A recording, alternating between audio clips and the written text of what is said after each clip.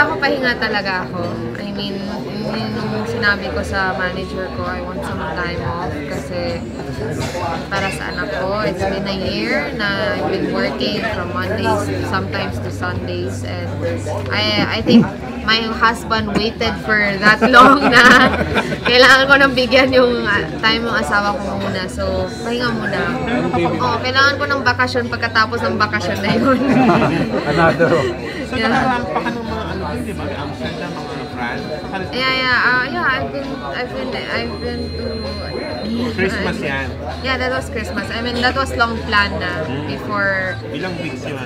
Two weeks lang. Ay, nakat short na eh kasi I have to work. But it's okay. Work is good. But you know, um, gusto ko lang bumawi. So, kailangan ko ng bakasyon after that bakasyon kasi malaki na yung anak ko. Wala akong yaya that time. Ilang gusto taon ko na mag-relax din. Ilan taon na? One na, One year old, yeah.